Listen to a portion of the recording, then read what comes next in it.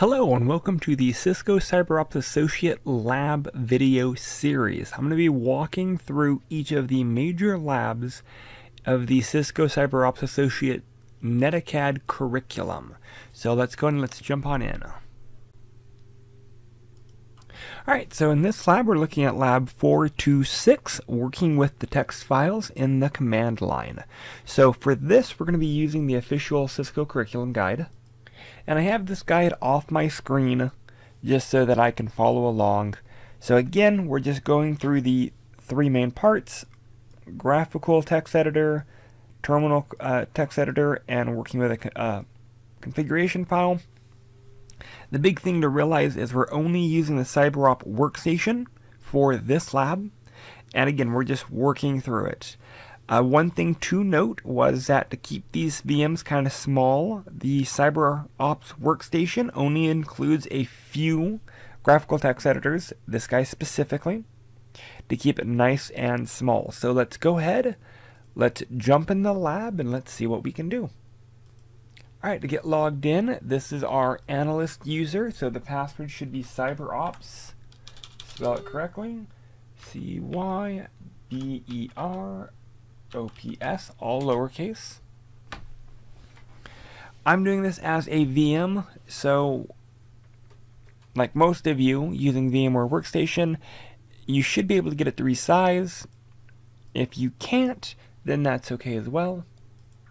Trying to work with this small of a footprint, I mean it's doable, but if you go up here to application, go to settings, go to display, you can manipulate the resolution here. I'm going to go ahead and pump it up to 1400 by 1050. Let's see if that works. I'm going to bump it up a little bit higher, maybe 1680 by 10. Alright, and for what I'm doing, for my screen, that works. So again, for that part, just kind of match whatever review that's going to matter for your screen, I'm going to go ahead and hide my VMware taskbar so I can see my applications. Alright, so once we get the display portion taken care of, we can move forward with the actual lab. Like I said, part one is using the graphical text editor. So again, we've already said that they're using the uh, SciTE for the graphical text editor. That's the one that's installed. So let's log into our VM and we're logged in as our analysts. So let's go ahead and open up our text editor. So if we go to applications, CyberOps, and from CyberOps, you'll notice that we have our idle, we have our SciTE, and our Wireshark. So we're going to open up our SciTE. And here is our text editor. This is a regular text editor. The lab wants us to copy this large string of text. Realistically, that part you, you really don't have to do. This is sample text. The big thing is we want to make sure that we understand that we can edit this command terminal. From here, let's go ahead and save it. So file, save as. I'm reading through the instructions and it just says notice where it goes to save. It saves to the home directory of analysts. So we may want to save it to somewhere else.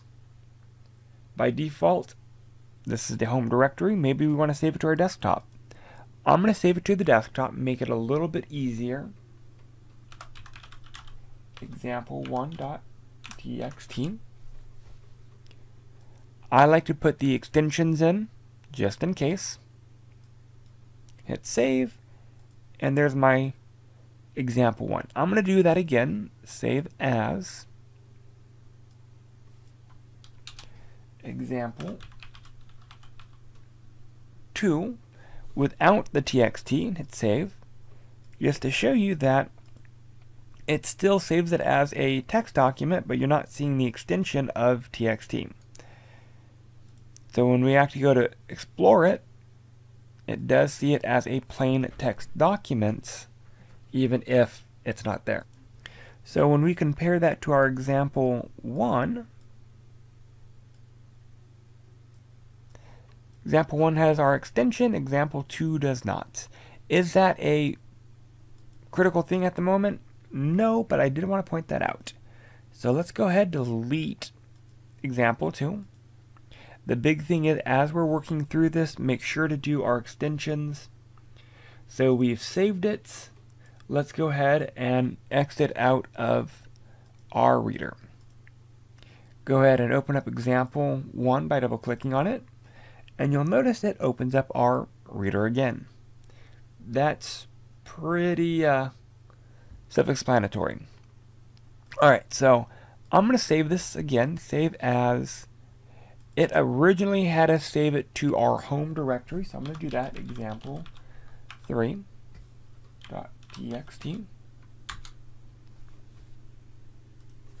The reason I'm doing that is because we saved it to the home directory. Well, where is that? Well, we have our home directory here and you can readily find it underneath our analyst's home directory.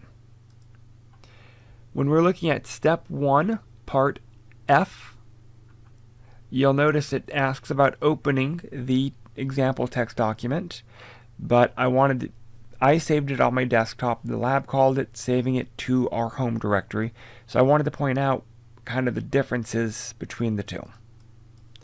So I'm going to go ahead and delete my example 1.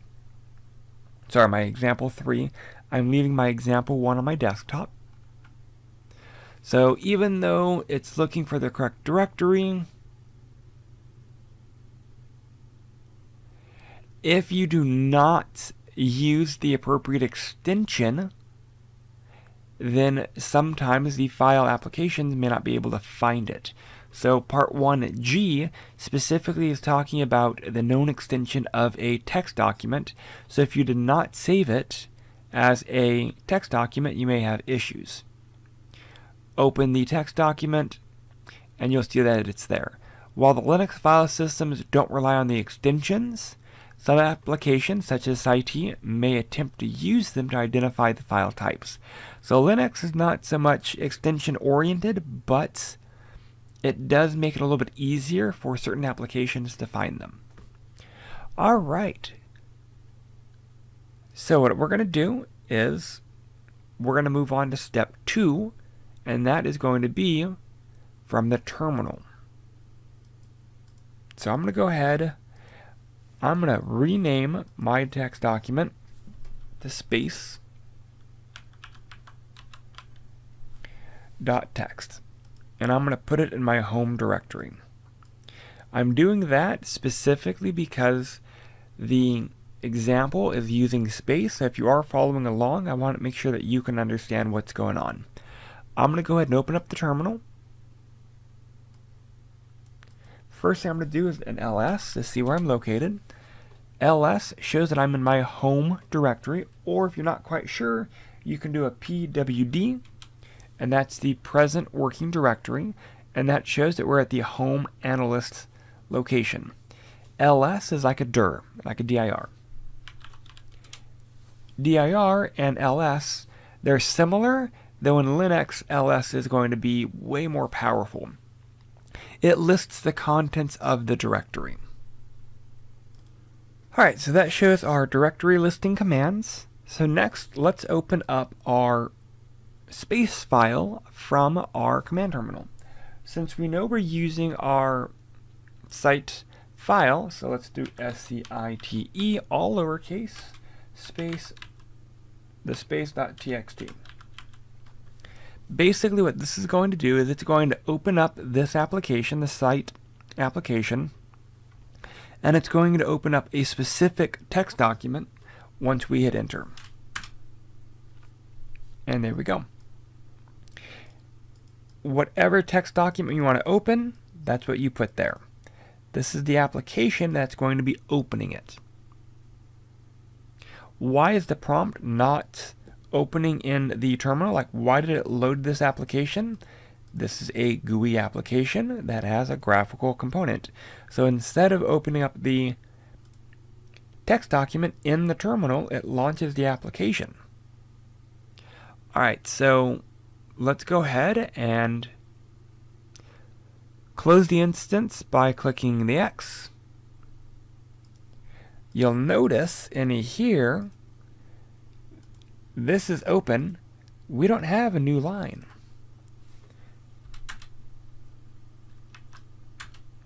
Like this is still showing it's running the application. So you can hit Control C and that will kill the application. I'm going to reopen it. Again, you notice that it doesn't give us a prompt again, it just gives us a new line. If we close out of the application, it then gives us back our terminal session. When we are starting from the command terminal, this will run as a elevated user root. So it simply proceeds with the this if you want to run as an elevated user, you, you can as root, for example. If you want to run it, we could do up arrow sudo, and then it will ask us for our user, cyberops. And then it will launch it as a root user meaning it's going to use the highest level of credentials.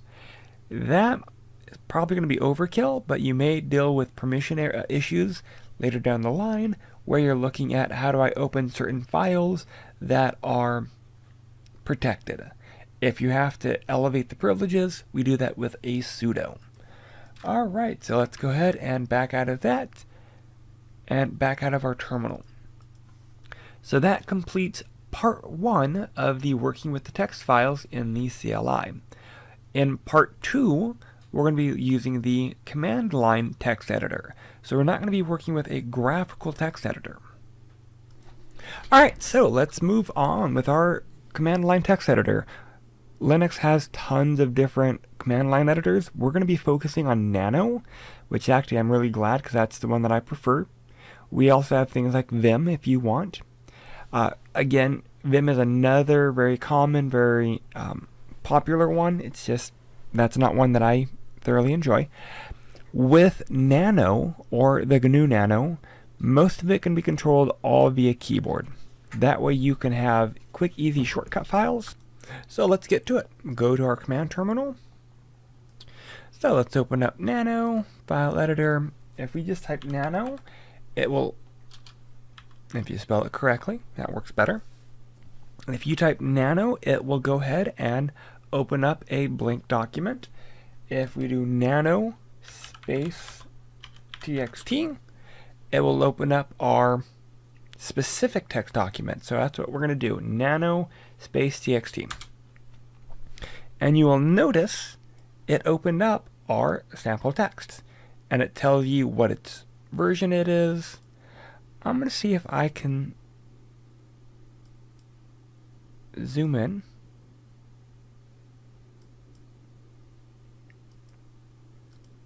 That way, it's a little easier to read. Down here we have the Control X, Control G, Control O, Control R. That way you don't really have to use the mouse. And this is all via our command line. This is all via a keyboard. This added we did nano.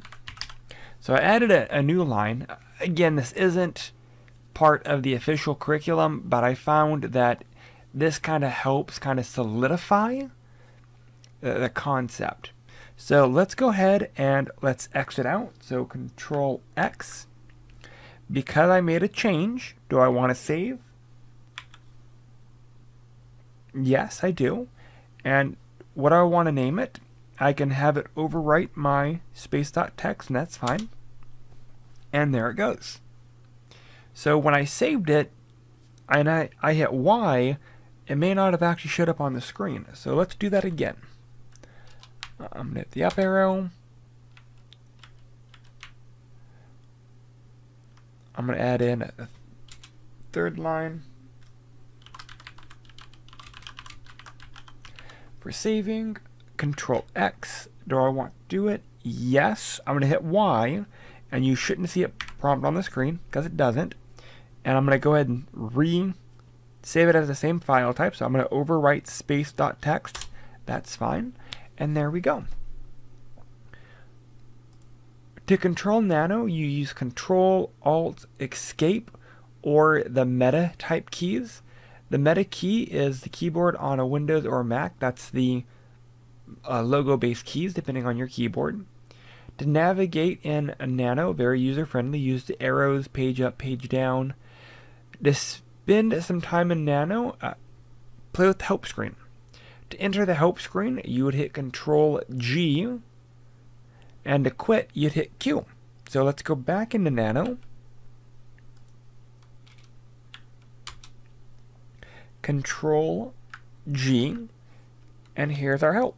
And you could use the arrow key to, to scroll down and see the shortcut keys. When you're ready to quit, hit lowercase q, and there we go.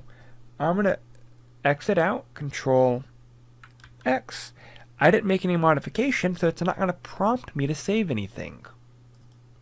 Alright, so that completes part 2. So I'm going to go ahead and open or close out of my terminal. Part 3 is working with the configuration files. So we're going to be using more ls-based commands and we're going to do some basic navigation here in just a minute. So part 1 was using the graphical interface, part 2 is using the terminal and using Nano as the terminal editor. And now part three, we're going to jump into working with configuration files. Alright, so part three has a few different parts. So it has step one, locating configuration files and navigation.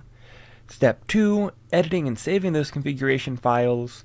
Step three, editing configuration files for services.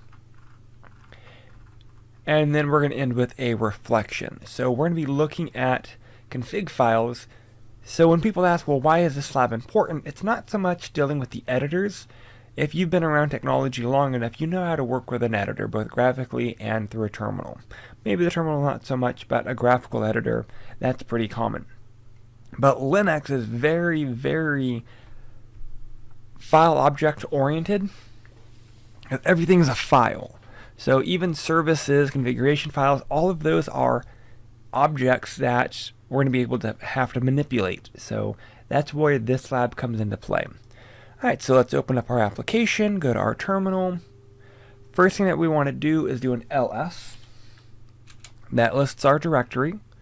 But more importantly, let's learn some ls commands. So ls tac l. That's going to show us a, a breakdown of the user, the size, the date, and the time. So again, I'm going to manipulate the view. It also show the directory, what permissions you have. So read, write, execute, read, execute, read, execute. And don't stress too much about understanding this just yet, because we'll have a lab explaining what that material is. While a few files are displayed, none of them are configuration files. Uh, you'll also notice there are no dots. So because it's a convention to hide the home directory host configuration file by preceding their name with a dot, so it might be dot something, those are going to be hidden files. So to show that graphically, I'm going to move my window to the side, go to my home directory. You'll see that we don't see it here. But when we opened up our application and we were saving as, Notice all of these start with a dot. But where were these in that folder? They're there. They're just hidden from our view. So go ahead and close out of all of this. Go back to our command terminal. So ls does allow us to view them. We just need to add in an additional flag. So ls, tac l, and a. The A option will include hidden files in the output. So there's a lot more here. And that's going to show our parent directories. It's going to show all of our hidden folders. Again, what we do to hide them is we start them off with a dot, and that would then hide them, or they'll be flagged to be hidden. We can use the cat command to display the contents of a resource. So I'm going to throw enter a few times. It wants us to cat or concatenate bash rc. Bash rc. Basically that says open that file. So here we have a export editor. It's going to be Vim. And we have our alias, which is our colors, and then we have our alias VI, which is also Vim. So we don't have to worry too much about the syntax of the bash command at this point. It's important to notice that the bash contains configuration for the command terminal.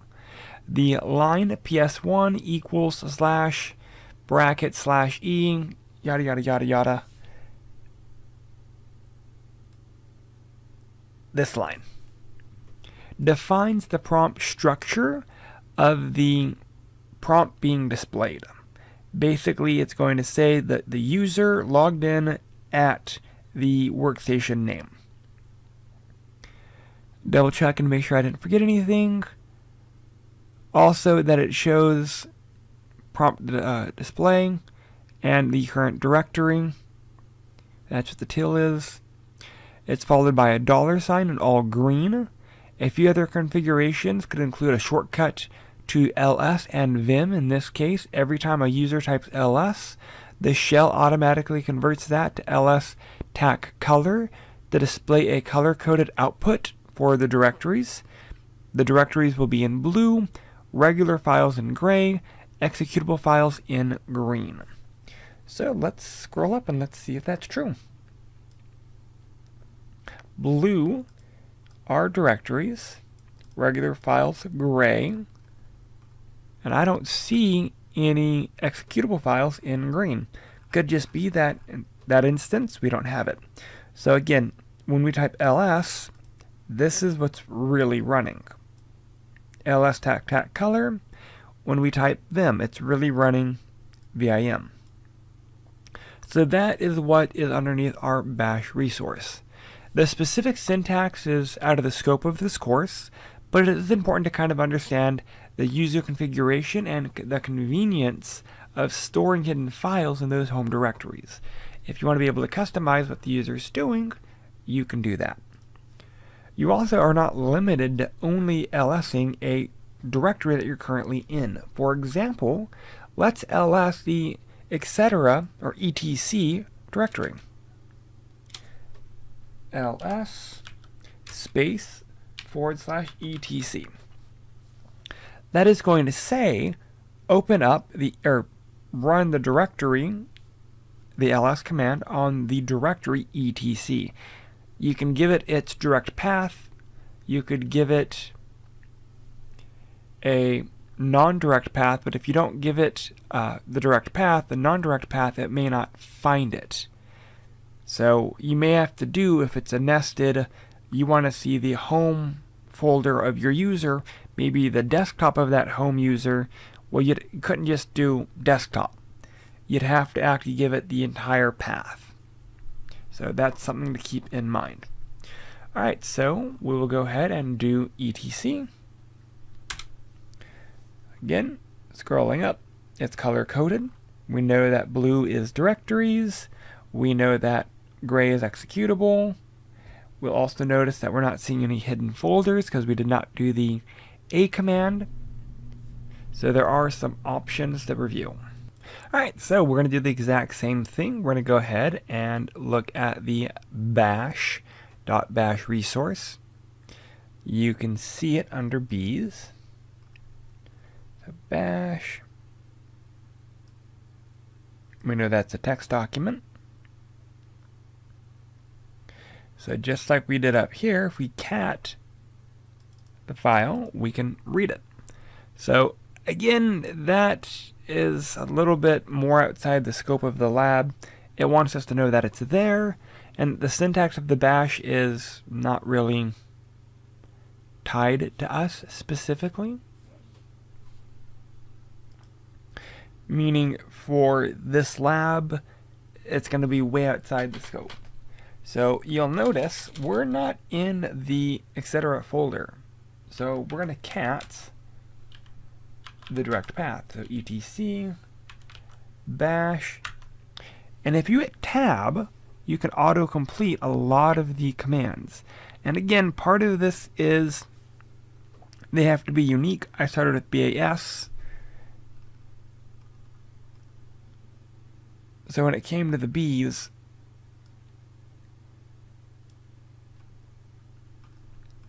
there was only two folders that start with, or two files that started with BAS. So bash logout and bash resource. And it did bash dot bash because it doesn't know what after that. So I'm going to do R, and I can tab the rest of it, and that will finish it. I'm going to hit enter, and again, there is so much extra stuff here. It's going to warn you, if you're not doing this interactively, don't do anything. Just We're just looking, nothing else. Why are user application uh, configuration files saved in the user home directory and not under the etc folder with all of the other system-wide configuration files? So that's a common question that we need to act to get a response to. And that's because the regular users do not have permission to write to the etc folder. So Linux is a multi-user operating system, so it will place user application configuration files under the etc. It would keep the users from being able to customize their applications. etc is a secured directory.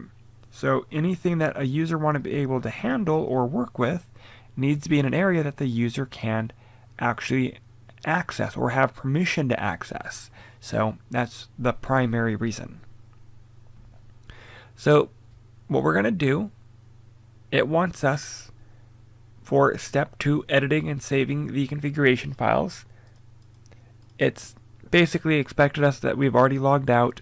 So let's log back in and let's open our graphical terminal. So CyberOps, IT, because the .bash rc is a hidden file with no extensions, we cannot actually see it. We don't see it here.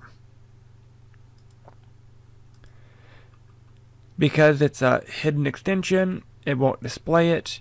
What we can do is, if we go to Open,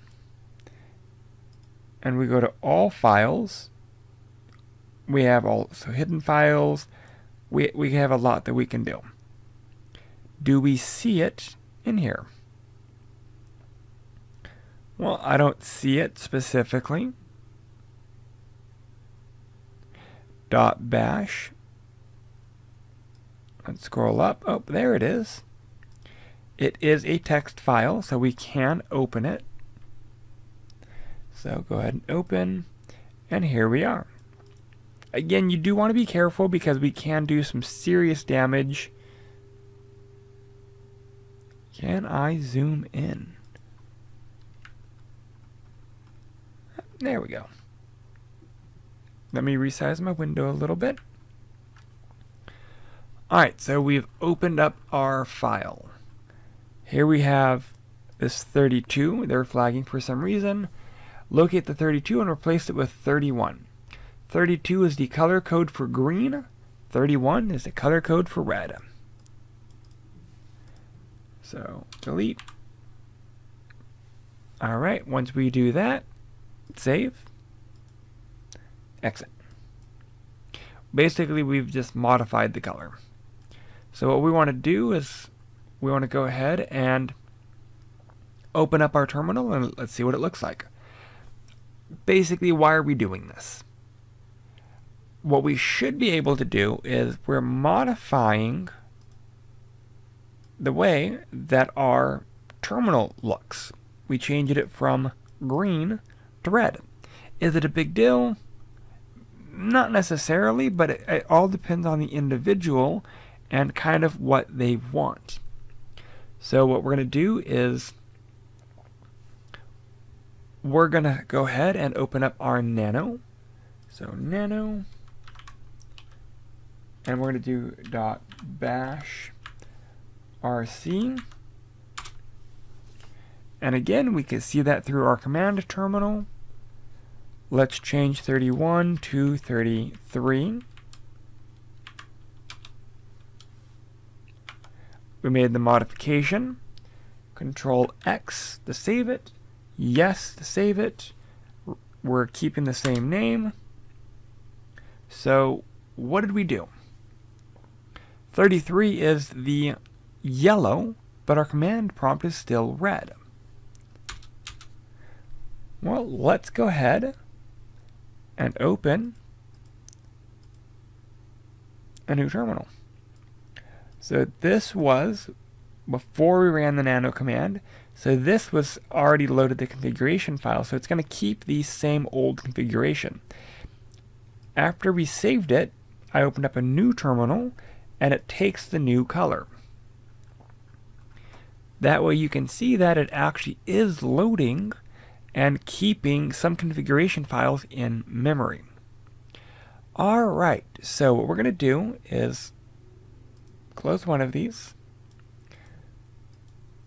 I'm going to modify my view again.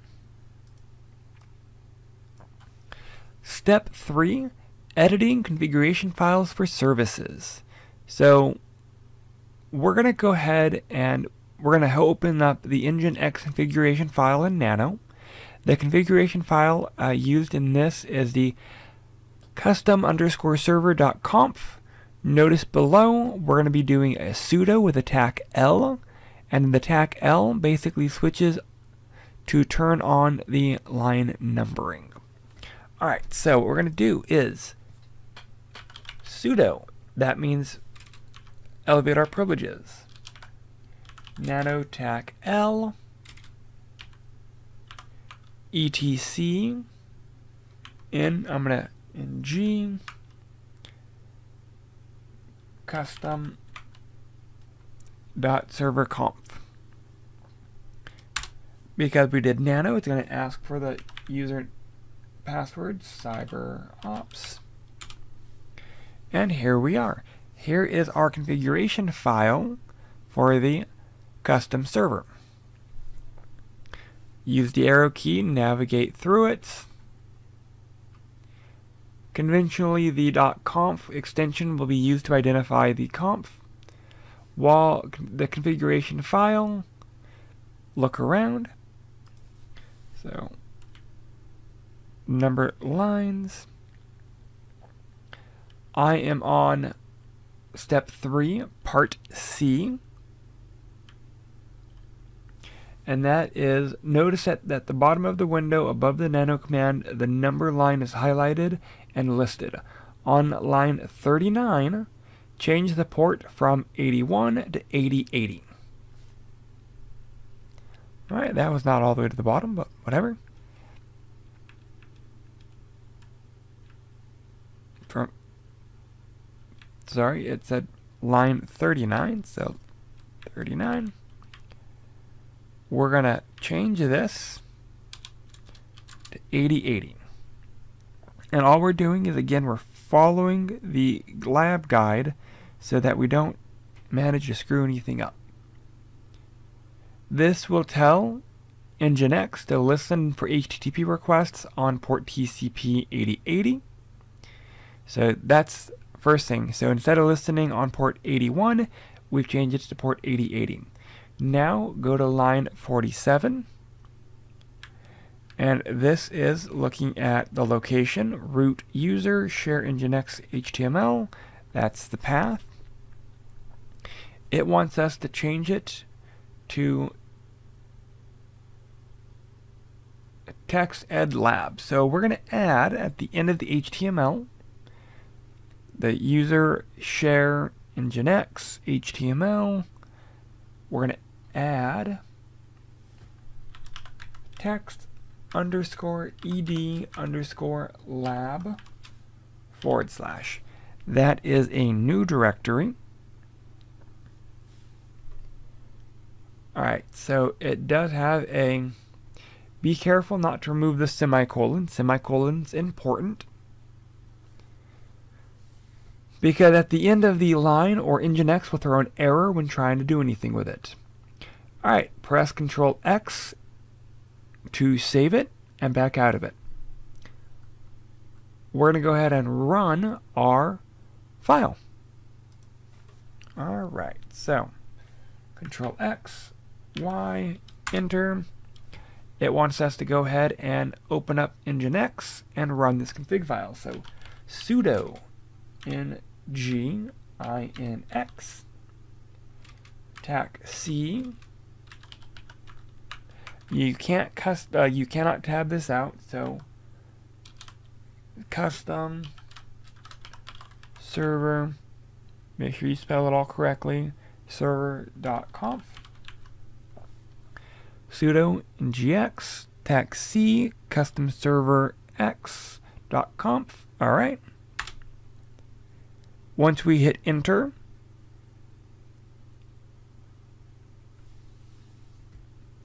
that should have gone ahead and loaded the configuration into Nginx. So what we're going to have to do next is open up our web browser, multimedia, nope, system, nope, oh, probably where it says web browser.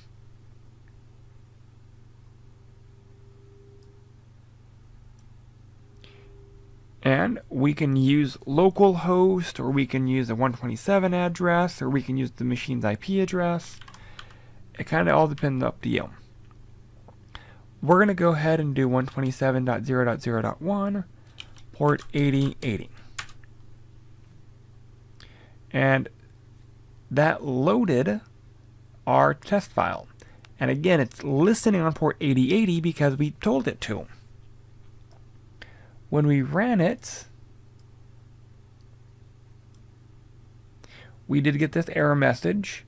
The user share text ed lab icon failed because there's no such file or directory.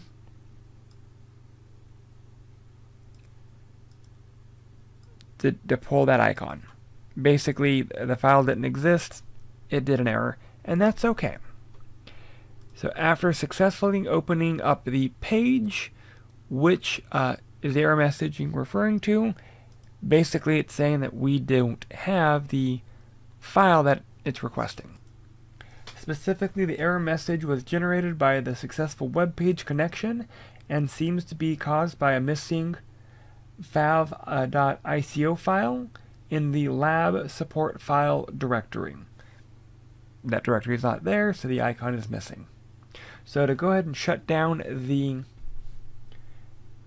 server, we can hit enter. We've already closed all, out of all of it. To shut down the Nginx web server, press enter in the command prompt, and we're going to go ahead and kill it. Alright, so we're going to do a sudo pkill nginx. N-I-N-G-X. And that turned off Okay, that, that turned off our X. So that should have killed it. So can we test whether the server has been shut down?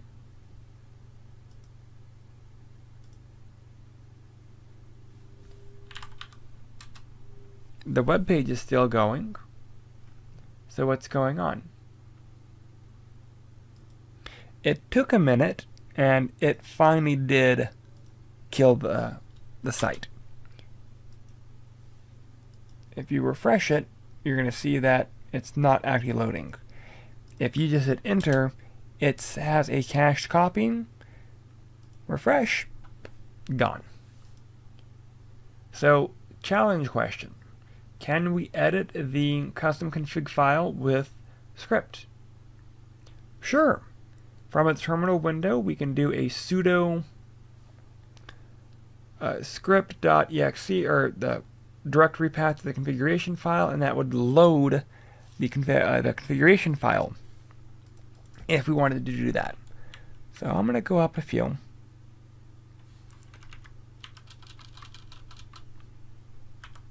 S C I T E